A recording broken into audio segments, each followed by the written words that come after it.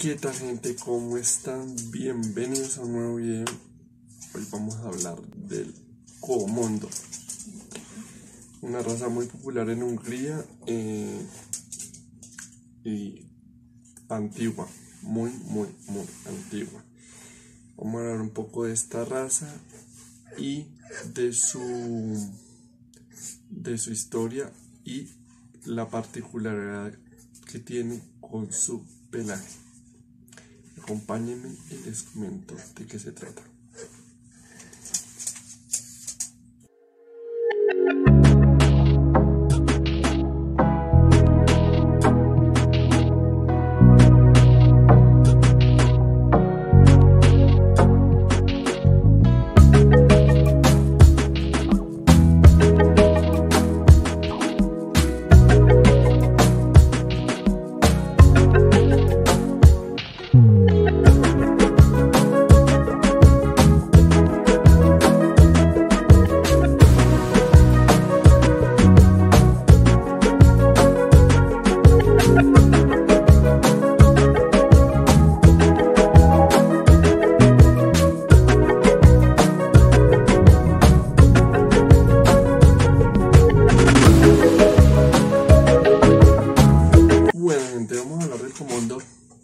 Entonces, el Comondor, eh, según su historia, se dice que descendió de algunos perros asiáticos eh, que andaban con algunas tribus nómadas llamadas los magiares, que eran unas tribus que eh, nómadas que andaban de un lugar a otro y que atravesaban eh, la mayoría de las veces la cuenca de Cárpatos. La cuenca de Cárpatos es una cadena montañosa ubicada al sureste de Hungría.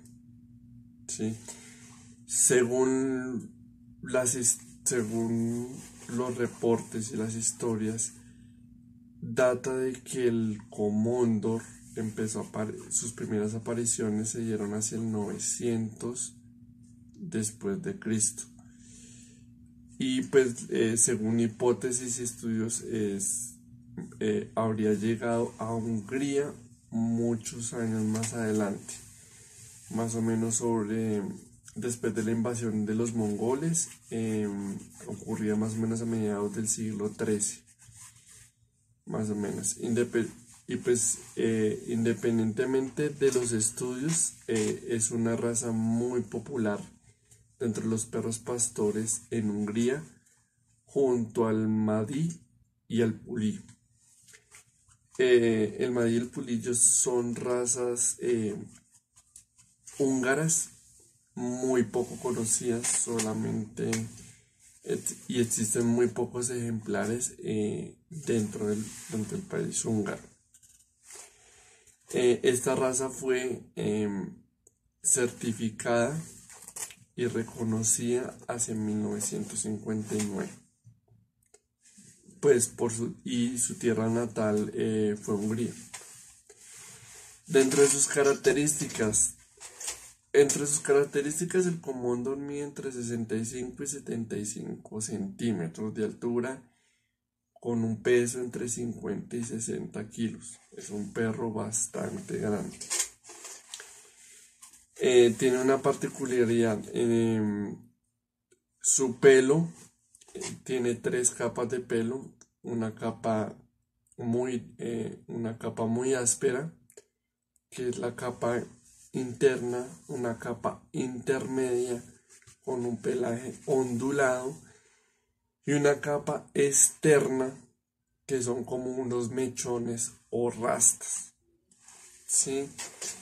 Que lo caracterizan eh, eh, que esas rastas se forman con el tiempo y hacen que el, pelaje sea mucho más denso, lo que le permite a esta raza eh, poder sobrevivir a bajas, poder vivir tranquilamente a bajas temperaturas climáticas.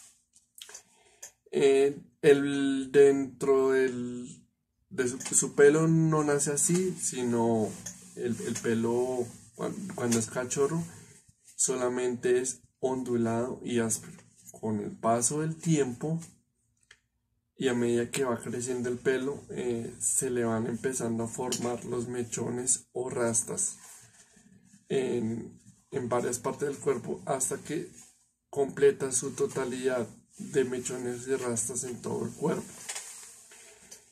No es un perro de... Dentro de sus cuidados no está el, el cepillar, porque debido a sus rastas y esto es, imposible cepillarlo. Dentro de sus cuidados fundamentales eh, está em, despuntar un poco las rastas eh, para evitar que eh, su crecimiento sea exagerado y el aseo el aseo constante y limpieza de las rastas puesto que como son mechones o rastas tienden a, a, se llenan de pueden generar humedad y tiende a almacenar parásitos de distintos tipos que pueden causarle alguna enfermedad. Entonces, hay, se recomienda por lo menos dos veces en la semana estar haciéndole aseo a las rastas y la despuntada de las rastas hacerlas por lo menos una vez al mes. Em, su, su comportamiento como tal es un perro muy valiente muy territorial, eh, muy sociable con, con, con, niños y adultos.